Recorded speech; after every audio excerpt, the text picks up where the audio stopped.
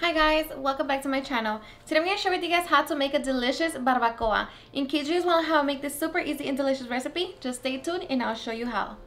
Alrighty guys, so let's get started with our ingredients. So for this recipe, we're going to need 6 pounds of beef or goat. I'm using chuck roast and short ribs. A half a cup of rice, a half a cup of garbanzo beans, maguey or banana leaves, 1 large onion, 1 head of garlic, 2 to 4 chipotle peppers, 4 bay leaves, 2 avocado leaves, 8 whole cloves, a quarter teaspoon of cinnamon, 2 teaspoons of oregano, 2 teaspoons of thyme, and 1 teaspoon of marjoram. 1 and a half tablespoons of whole black pepper and coarse salt. So these are ingredients, now let's get started. Alright guys, so first we're going to start by crushing our spices. So in my blender, or you can use your molcajete, we're going to throw in our 4 bay leaves, our whole cloves,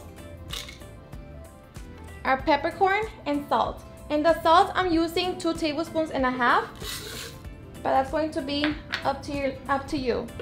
So now we're just going to blend that together and crush it.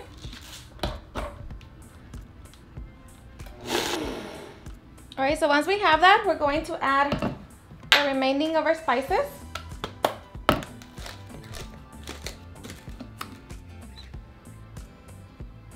So I have the oregano, thyme, and marjoram along with the cinnamon.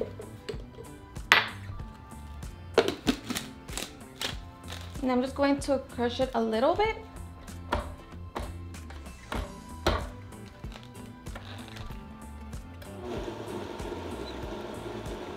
Alright, so once we have that, we're going to marinate our meat. Alright guys, so now we're going to rub our meat with our spices.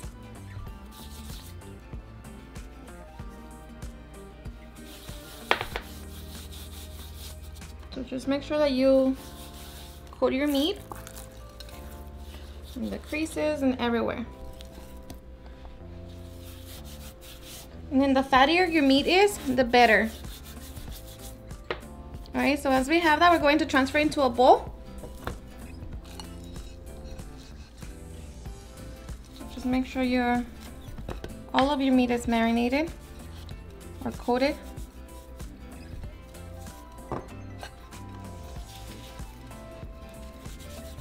Alright guys, so once we have our meat seasoned with the rub, now we're going to cover it and let that sit for at least two hours. So we're going to put it in the refrigerator. Alright guys, so after two hours, we're going to get our meat out of the refrigerator and now we're going to prepare our leaves. Alright guys, so you just want to make sure that you wash your leaves very good, uh, front and back, and then make sure that you dry them. And this is where we're going to be wrapping our meat and they're going to be cooking inside the leaves. Alright guys, so once we have our leaves all nice and clean, now we're just going to pass them through the heat. So you're gonna see how they're gonna change color. Just pass them through them. This is just going to soften them up. So like that, it's going to be easy to wrap our meat. That's done. And just repeat the process to all of your leaves. Alright guys, so once we have our leaves ready, now we're going to get our steamer pot.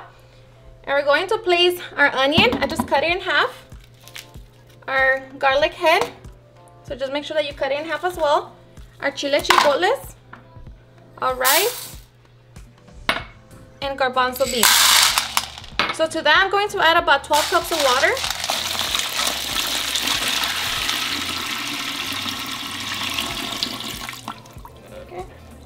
Now I'm just going to put my little divider for the steamer. Alright, so inside our steamer pot, we're going to place our leaves. And we're going to build kind of like a little bed where we're going to be covering our meat. Alright, so once we place our leaves around our steamer pot, now we're going to place our meat inside of the leaves or the pot.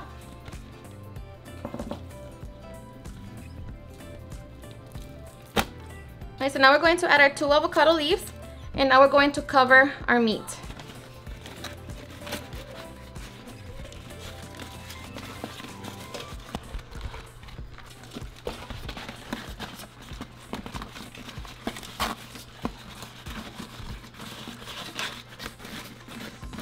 Okay. So now we're going to cover it and we're going to set it on our stove. So we're going to set it on medium heat and we're just going to allow it to cook for at least three hours. Alright guys, so it's been three hours and 30 minutes. So but this time our meat should be fully cooked. And let me tell you that it smells delicious. Remove your leaves. Look at that. Ooh. Yeah, see how tender the meat is? So now we can shred it and then we can get our tacos going. I'm going to transfer my meat out so like that I can shred it and then we can get the broth because the broth is going to be our consomme. Alright guys, so I transfer my meat to a different pot and this is our consomme over here. So now we can remove it. And there it is. You can remove like the onion and garlic and then just kind of uh, pour your broth like that or you can strain it. So I'm just going to shred my meat so we can make our tacos. So grab your meat. We're going to stuff them real good.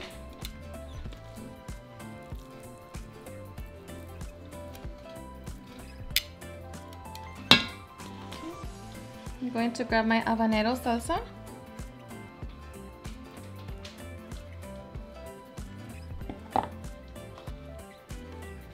Cilantro and onion.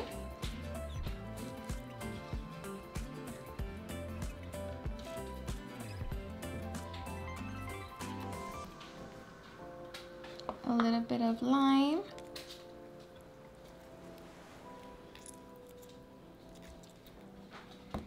and of course our consomme.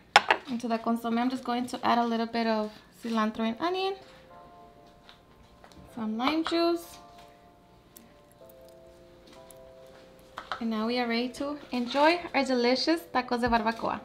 Alrighty guys, and now for the best part, the taste test. I am so ready to put in there.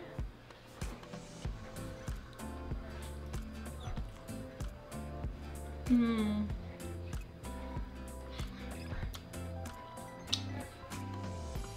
Seriously, it's super delicious. The flavor is just so delicious. The broth, you guys, is so good. The meat, super tender, super flavorful. It's just the best. Alrighty guys, and there you have it on how to make a delicious barbacoa. I hope you guys had enjoyed watching this video and if you did, please don't forget to give me a big thumbs up, share it with your friends and family, and if you regret this recipe, please don't forget to tag me on any of my social medias.